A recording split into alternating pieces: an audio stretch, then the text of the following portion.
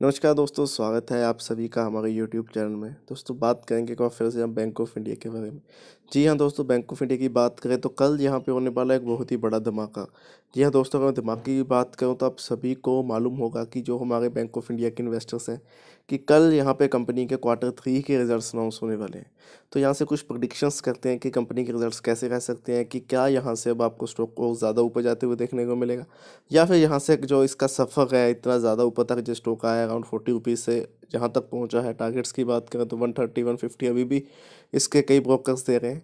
लेकिन इस समय जो सबसे इंपॉर्टेंट चीज़ है वो है कंपनी के क्वार्टरली रिजल्ट्स अगर आज की ही बात करें देखिए थोड़ा इंपैक्ट उस चीज़ का आपको आज भी देखने को मिला है। Around one point four five percent तक की तेज़ी देखी गई है।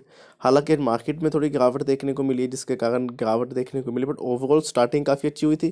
देखिए अगर मैं आज की बात करूँ तो नाइन्टी सिक्स रुपीज़ के ऊपर स्टॉक ओपन हुआ था and one hundred and one rupees तक भी ये स्टॉक है। मतलब आप कह सकते हैं कि आज स्टॉक ने हंड्रेड रुपीज़ को भी हिट करके देन फिर स्टॉक नीचे आ गया। लेकिन कल यहाँ पे एक बड़ा धमाका होने वाला है, क्योंकि आज जो तेज़ी हुई है उसके पीछे के अगर मैं रीज़न की बात करूँ तो देखिए आप सभी को मालूम है कि क्वार्टर थ्री के रिज़ल्ट सब स्टार्ट होने, हो चुके हैं स्टार्ट हो चुके हैं। आज आपको दो बैंकिंग सेक्टर के रिजल्ट्स देखने को मिले हैं, जिसमें फेडरल बैंक है, साथ में हमारे पास है बैंक ऑफ़ इंडिया सो वही बैंक ऑफ़ महाराष्ट्र का तो बैंक ऑफ़ महाराष्ट्र के मैं रिज़ल्ट की बात करता हूँ तो इतने बेहतरीन रिजल्ट्स यहाँ पे बैंक ने अनाउंस किए हैं।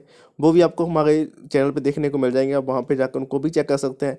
लेकिन अगर मैं आपको ओवरव्यू दूँ तो अराउंड वन फोर्टी परसेंट तक की जो ग्रोथ है कंपनी के प्रॉफिट में ईयर ऑन ईयर बेसिस पे देखने को मिली है।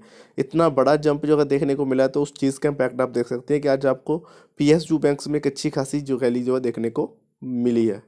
वहीं अगर मैं दूसरी ओर बात करता हूँ फेडरल बैंक की तो उसमें भी एक बेहतरीन रिजल्ट्स यहाँ पे कंपनी ने अनाउंस किए हैं। तो देखिए बैंकिंग सेक्टर एक बार फिर से तैयार है, वही पहले जैसा धमाका करने के लिए। तो आप भी तैयार हो जाइए। अभी आपने अगर आपने इसमें इन्वेस्टमेंट नहीं की हुई है तो आप आज ही इस पर इन्वेस्टमेंट करें, क्योंकि ये फिर आपके हाथ में नहीं आने वाला है, क्योंकि ये स्टॉक अब इतना ज़्यादा ऊपर जाने वाला है कि आप इस चीज़ का आइडिया नहीं लगा सकते, क्योंकि यहाँ पर काफ़ी ज़्यादा चांसेज है कि जो कंपनी के रिज़ल्ट हैं, वो काफ़ी ज़्यादा अच्छे आने वाले हो जैसे ही कंपनी के रिज़ल्ट आएँगे, आपको हमारे चैनल के ऊपर देखने को मिल जाएँगे। तो उसके लिए आप हमारे चैनल को सब्सक्राइब कर लीजिए। तो ये काफ़ी ज़्यादा इंपॉर्टेंट आपके लिए सारी चीज़ें होने वाली हैं, क्योंकि अगर आप बैंक ऑफ़ इंडिया के इन्वेस्टर हैं तो ये स्टॉक वो आपको अच्छे खासे रिटर्न्स देने वाला है। अगर आप फ्रेश बाइंग के बारे में सोच रहे हो तो आप फ्रेश बाइंग भी कर सकते हैं, क्योंकि यहाँ से अब और ज़्यादा तेज़ी से स्टॉक भागने वाला है। अराउंड वन फिफ्टी तक तो आप लिख के ले लीजिए स्टॉक आपको डेफिनेटली काफ़ी जल्दी ही जाते हुए देखने को मिलेगा। क्योंकि आज आप इस चीज़ का इम्पैक्ट देखिए कि आज केवल दो बैंक के रिज़ल्ट निकले हैं मेन जो है बैंक ऑफ़ महाराष्ट्र का रिज़ल्ट है पीएसयू बैंक्स का, जिसका ज़्यादा इंपैक्ट आपको इन स्टॉक्स में देखने को मिल रहा है। तो आप खुद आइडिया लगाइए कि जब बैंक ऑफ़ इंडिया का खुद का रिज़ल्ट कल को निकलेगा देन डेफिनेटली ये स्टॉक्स आपको एक बड़ा जंप देखने को इन स्टॉक्स में मिलने वाला है। तो दोस्तों, इस स्टॉक को आप अपने विश लिस्ट में रख सकते हैं स्टॉक को आप बाइंग करके भी रख सकते हैं होल्ड करके चलिए डेफिनेटली ये स्टॉक आपको एक अच्छे खासे रिटर्न आने वाले टाइम में ज़रूर देगा। बाकी दोस्तों, आज की वीडियो में इतना है। अगर आपकी इसके अलावा कोई क्वेरी है तो आप हमें कमेंट कर सकते हैं। और अब तक आपने चैनल को सब्सक्राइब नहीं किया है तो प्लीज़ ज़रूर फ्रेंड्स सब्सक्राइब कर दीजिए। एंड बेल आइकन को दोबारा मत भूलिएगा। धन्यवाद।